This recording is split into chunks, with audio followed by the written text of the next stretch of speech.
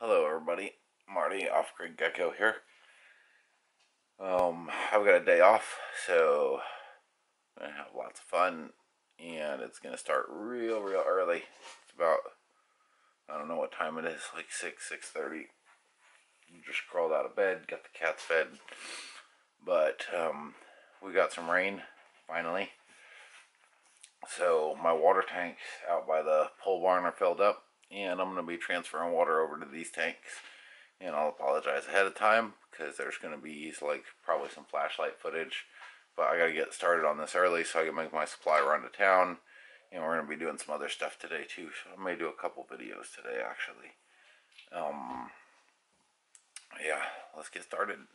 So the first thing we need to do is so basically like I've said before the water tanks are out by the pole barn and I've got two um, 275 gallon totes, 265 or whatever they are. I just call them 250. Um, so those are both filled up by now because we got a hell of a rainstorm last night. And I've got two similar tanks here by the house. And one of them is near empty. So what we're going to do is pump water from over there to the house. Now I've got a manual pump that I can use my drill for, but I prefer to use the house pump. So I'll show you how the outside stuff's set up, where I can transfer water in and out. Why are you so playful? Um, and these little cats are probably going to be running around because they're kind of eager to get out and see what outside looks like after it rains. And they're going to go splashing puddles and stuff and make a mess. Um, yeah. Alright, let's get on it. Alright, so this is the basic setup that we're working with here. Um, two tanks right here next to the house, and there's my little propane tank for the water heater back there behind them. Each one of these tanks has a valve built into it, integral to it, and then there's a two inch pipe connecting them, and a line running into the in hole on the house, which is here. And then this is the out hole and this is the overflow. So if for some reason the pressure inside builds up to a dangerous level water's going to come shooting out of here and hopefully keep things inside the house from exploding. That's kind of its purpose. I don't know if it'll work or not. Never been never had that problem yet and i shouldn't really have that problem. Um so what we're going to do first is this tank. Ugh you can maybe see there is getting dangerously low. It's actually still probably got enough in there for a shower, but um, yeah. The other tank's pretty much full, so I'm not dangerously low on water by the house. I could switch to the other tank and use it for a while, but with as cold as it is, it's a pain in the butt because um, this one I don't have to drain until it gets down into like the 20s. I don't have to really shut it down that other tank over there, if it's freezing, I don't want freezing water in that two inch pipe. That's just too much surface area exposed to cold weather. So um, basically I use as much water as I need to use for the night. And then shut it down, drain that line, and there's another little valve way there at the back that I can drain the line to empty it and I've got a valve inside the house that I can shut off to just basically disconnect the outside water supply from the inside of the house turn off the pump whatever. But anyways this goes through here passes through a filter and then it goes into the pump and the pump goes into a tank and then from the tank it goes to the rest of the house. Um, and it's a pressure tank inside not really a, a holding tank so it only holds a few gallons. Um, and then of course the spigot comes out of it. So what we're going to do is trick the system okay? So I've got a hose running from the spigot I've got a cat crawling up my leg and we're going to put that hose into the top of the tank here. Move. Now this is a Studor valve and when I bought these I was actually intending to use them for something entirely different. But what it does is it's got a little come out. It's got a little flappy valve inside of it. And basically air can come up and get in, but nothing can, so that it can, or it can vent. So it basically just provides a little ventilation for the, the system so that these things don't create like a dry suction or some crazy business like that. Um, they're actually designed as a trap to ventilate out. So how that works in this scenario, I don't know, but I was just out here one day and I realized this would work for this. Screwed it in nice and loose and that basically keeps the bugs out of the water and it doesn't create pressure in the tank by having this completely sealed off like that one. Um, so I just move the valve over wherever it needs to be. Now we're going to take the other end of this hose, if I can find it.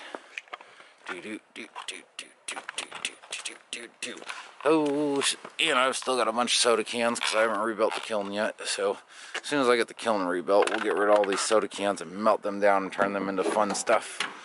But, uh, pop that hose in there and then we're ready to go on this end. Now the only other thing we need to do is disconnect the feed coming into the house.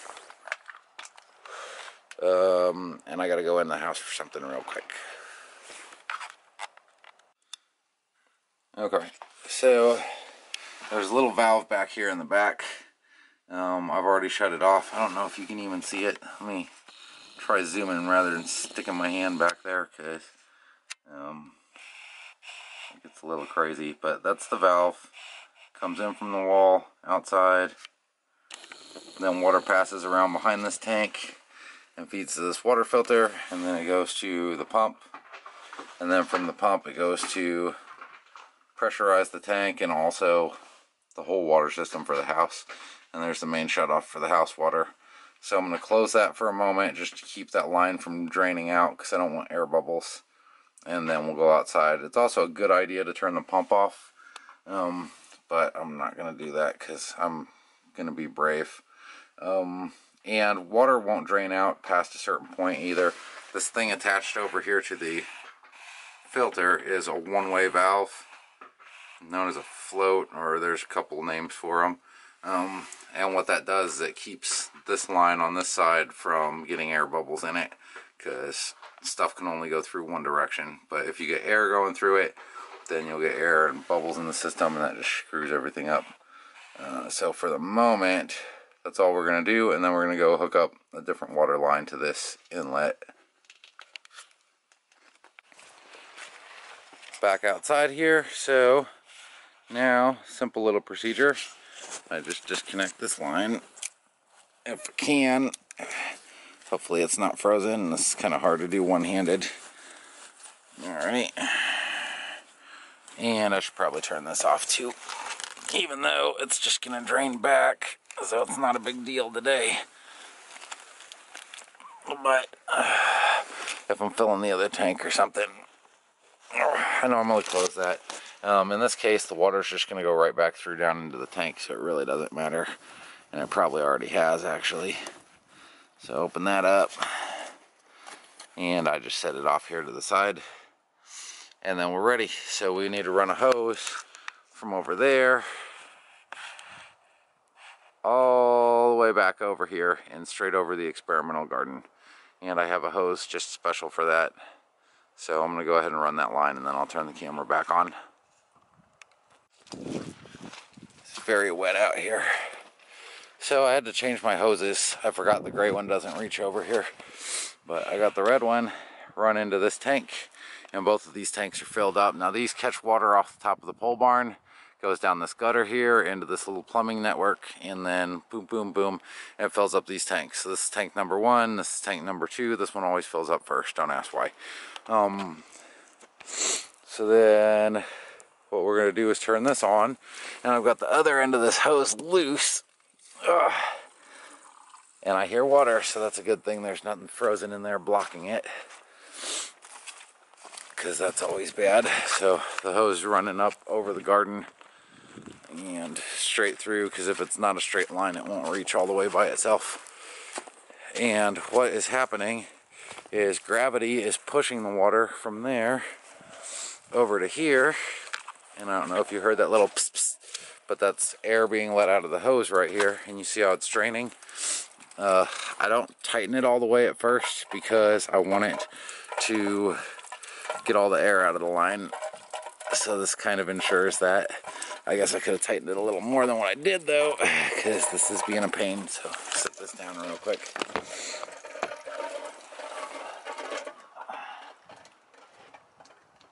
Alrighty. And there we go.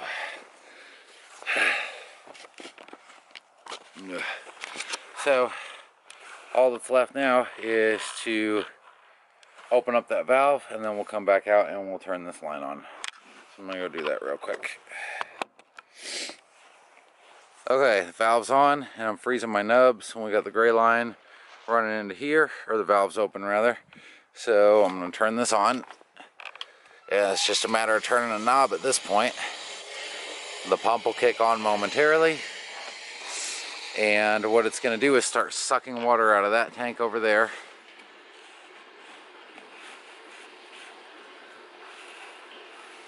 well it's not focusing and then it's going to pull it into this tank right here or into the pump. The pump's going to turn on.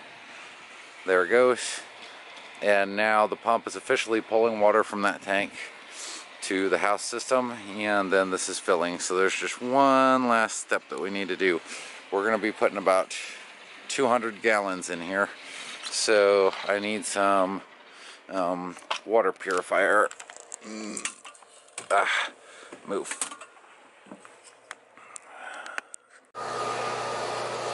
Okay, I don't know, the that noise in the background, I went ahead and kicked on the generator too, just because in case you didn't notice, it's cloudy outside today and we're not going to have any luck getting enough solar energy to run this sucker. But anyways, um, basically the strategy that I use is 200 milliliter or 1 milliliter per gallon. Okay, so we are using household bleach, unscented, normal, nothing special about it.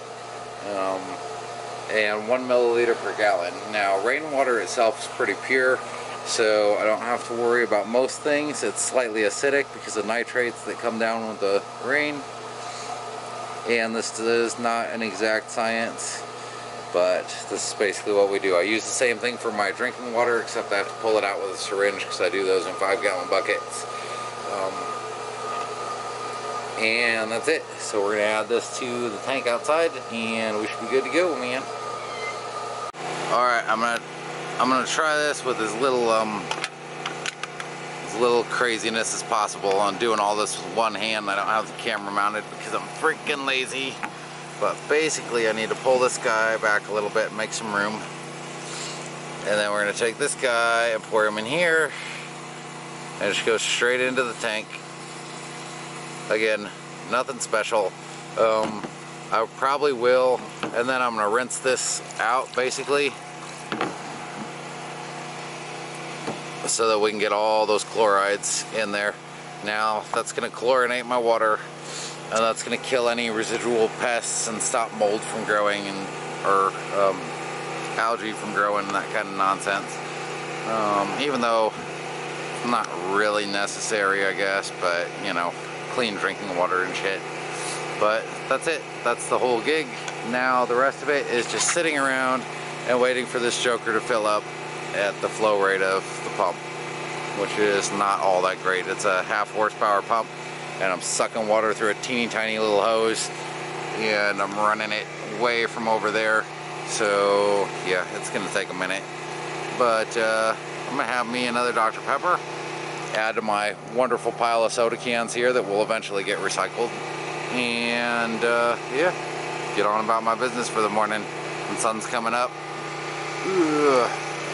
you can't see it but it's up there somewhere and this is the morning on the homestead. And I think my chimney's making smoke. Oh yeah, looks like that log's finally burning. That's good. I like burning logs. Burning logs is fun. So anyways, yep, that's it. Wait for this joker to fill up. This one I'm not going to worry about. It's a reserve tank basically. This is my active. And uh, we're supposed to be getting more rain today. So if we get two inches, two inches will fill that little joker over there right back up maybe two and a half. I don't remember the exact calculation. And uh, we'll be good to go again. We'll have plenty of water to get us through the next couple months. So it doesn't take a lot of rain, just takes one roof. And now eventually I should probably put gutters up here and just have them direct feed into a tank down here, but you know, that'll happen when it happens, I guess. Um, till next time, if you like this kind of thing, go ahead and click like, subscribe, and I'll show you more of the little quirks of my weird, crazy off-grid life. Um, see you later.